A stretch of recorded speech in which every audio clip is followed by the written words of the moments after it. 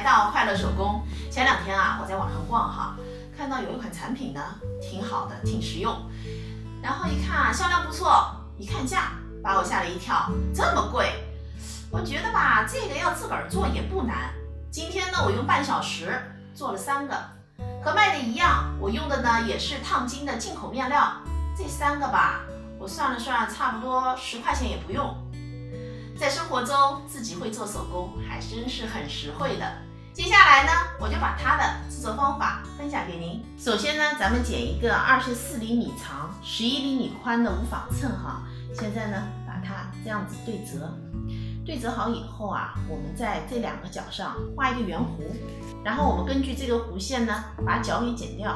剪好以后呢，我们把它烫在面料上。现在呢，我把无纺衬烫在了面子上，那面子一份，里子一份，它们俩大小是一模一样的哈。现在我来跟大家说一说，今天我用到的面料，面子上的面料呢是一块烫金的印花全棉面料，里子呢是一块全棉面料。做这个收纳夹呢，咱们还需要一颗摁扣。今天呢，我打算做三个，我们家人呢一人一个。首先呢，我们把材料这样子，正面和正面相对，我们呢整个车一圈，在这儿呢留一反口。一圈车好以后呢，我用曲尺剪刀把多余的修剪掉了，在反口的地方呢，我们需要留的多一点。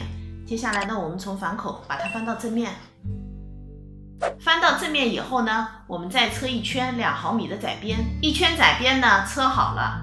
接下来啊，我们在离这条边一点五厘米的地方钉一颗摁扣，摁扣钉好以后呢，咱们的收纳夹就制作完成了。这期视频内容就是这些了。如果您喜欢我的视频内容，请您点击加关注。咱们下期再见。